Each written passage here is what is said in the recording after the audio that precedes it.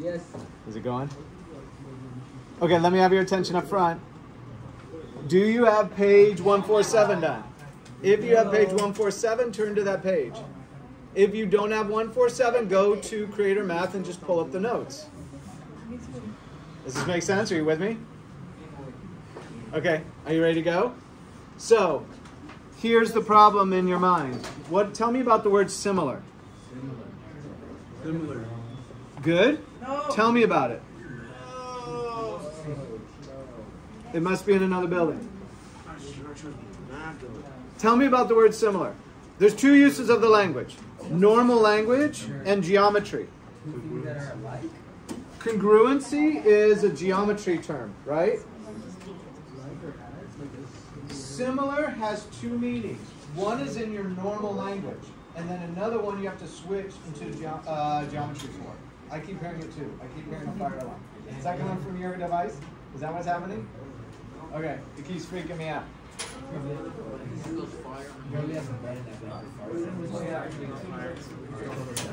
Okay, attention over here. Tell me about similar in your normal language. What does similar mean in normal language? They have things in common. Okay, if two cars are similar to you in normal language, what might be the same? Same color. They're both the same brand. They're both Hondas. Same engine type. What else could make them similar? The headlights.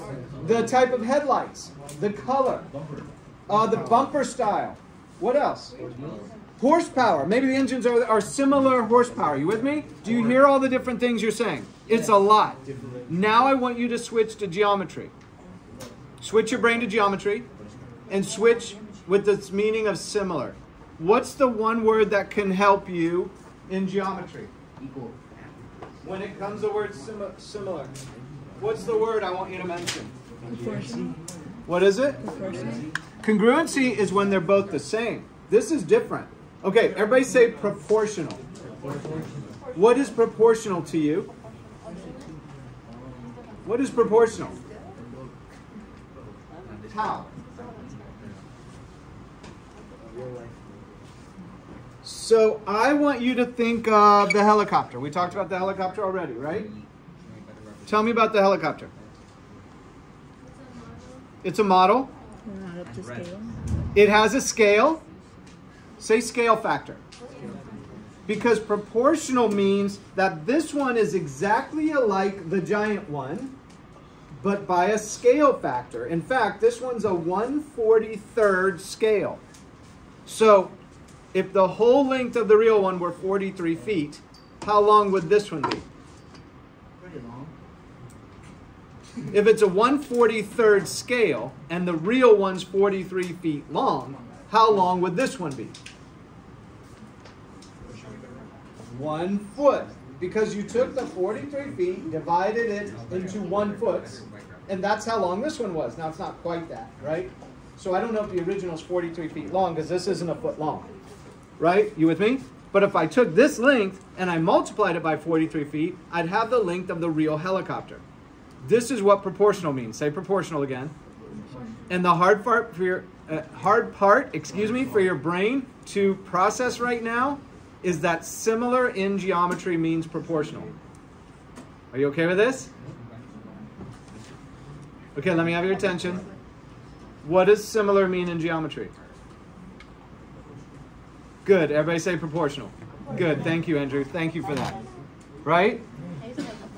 Okay, so now you're turning to the lesson. You're looking at are two triangles proportional to each other? So here's two triangles. Are they proportional to each other? Is one larger or smaller by a scale factor? It's okay? So in this one, you're doing AA. It stands for angle angle similarity postulate. Now you must say similarity each time because these start to sound a lot like congruency postulates. Remember all the congruency postulates? So you've got to say AA. What's AA stand for, you guys? Good. Angle, angle, similarity postulate. So if I have an angle of one triangle, 34 degrees, matching with an angle of another triangle, 34 degrees, and I have a second angle, 42 degrees, matching with a second, what can I say about these two triangles? That they are similar And my reason is I'm using angle angle similarity postulate. Is this okay? Kind of basic. So one of them is smaller and the other is bigger, the real helicopter, right? And they're proportional because this one looks exactly like that one, right? And that's what it is, but a lot simpler because it's not all the details of height and width and all that. It's just simpler. It's just the three angles and the two and the three sides. This is okay? And we're using this angle-angle similarity postulate. Now, what is the scale factor? Can you tell me the scale factor between these two?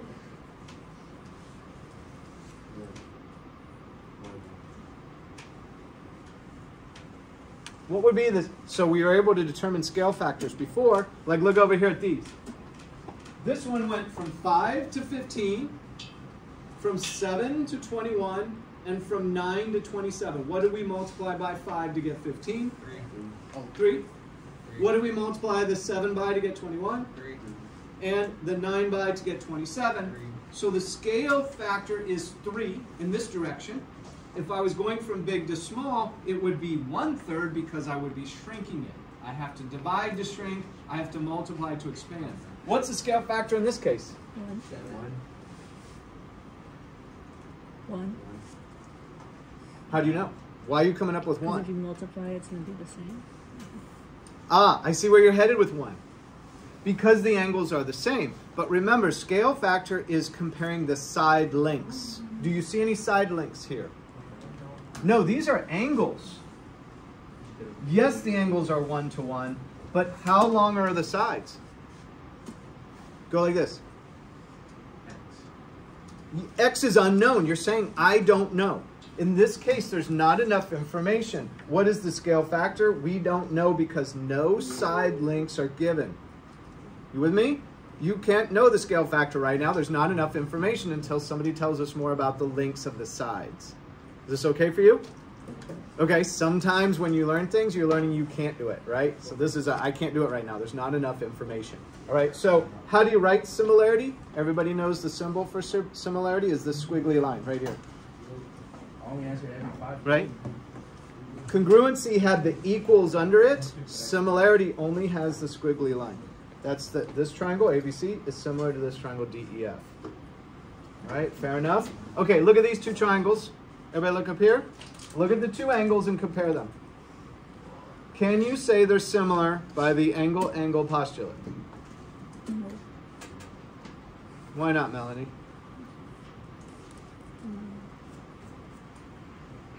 First of all, are your eyes linking up the 100 and the 100? Those are the same, right? What's this one? This is 50 and this is 30. Are they the same? No, they're not the same. So, do I have an angle-angle similarity postulate going on here? Yes. So let's jump back and just think about calculating the angles of a triangle. So your brain can reconnect that, right? How many degrees are in a triangle if you add up all three uh, angles? 180, right? So what's this come to? 150. What does this got to be? 30. 30. So this is 30. So are there two angles of this one that match two angles of that one? Yep. So they are similar by the angle angle postulate. The answer is yes. You just had to do a little bit of work to find the third one. Does it make sense to you why angle angle has to be similar? Because once you have two that are the same, the third one must be also because they always have to subtract from the 180 number. Does that click up maybe in your mind? Okay, maybe it will when you're going through the school G2. All right? Okay, pretty simple. So here's a one last time. In your mind, you're separating the use of the word similar between your normal life. When you're talking to your parents about two things are similar, that's different than when you're talking in geometry class about similar. What's the one important word you got to remember when you're thinking of similar in geometry class? Proportional. Proportional. Good. And that's what it is. And from that first lesson, you can set up a proportion from it and even solve problems with it. Okay, good. Hit stop on that.